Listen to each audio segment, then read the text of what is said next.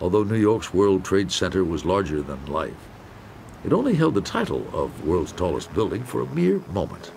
I think we're all pleased that it's finally completed and ready to operate. Just a month after it was dedicated in 1973, it was eclipsed by the Sears Tower in Chicago. As part of the engine of the economy and very excited moments of investment, there tend to be clusters of world's tallest buildings that compete with each other for the title. High rise fever is contagious, says Carol Willis of the Skyscraper Museum in Manhattan. And X marks the spot. It's absolutely the demand for location that produces high rise buildings. So today, the obvious business impetus of the skyscraper were true from the very beginning.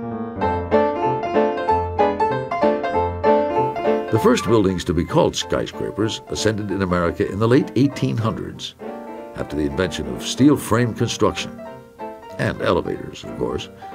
Businesses with lofty ambitions had a new way to one up each other even during the Great Depression. In 1930, the Bank of Manhattan Trust Building shot up 927 feet.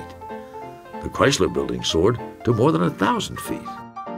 And then, in 1931, men pierced the sky to build the world's tallest skyscraper. The Empire State Building reigned as the world's tallest building, 1,250 feet, for another 40 years. Tall buildings command attention, but can have trouble commanding rent. In recent years, the Empire State Building was dubbed the Empty State Building. This is Burj Khalifa, which is the world's tallest building. Today, building to dizzying heights has become a foreign affair. The tallest structure in the world is a 2,700 foot residential building in Dubai.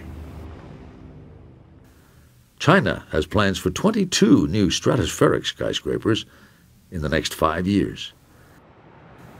But with the exception of the new One World Trade Center and the just begun Two World Trade Center, no super tall buildings are planned for the U.S.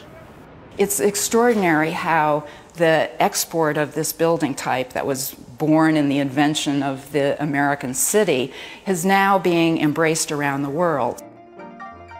Which, of course, means no matter where on Earth the next tallest building stands, its foundation will be here in America.